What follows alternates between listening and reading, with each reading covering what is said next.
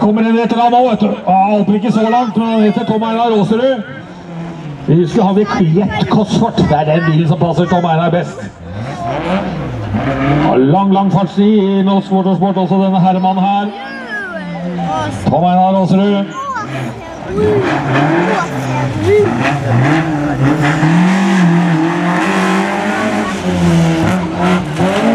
Vi har faktisk helt til Tyskland å kjøre bakkeløp også. Han skal det i sommer også. Og eh, det er et skikkelig grovt bakkeløp i, i, i Tyskland. Han gjør 59,33.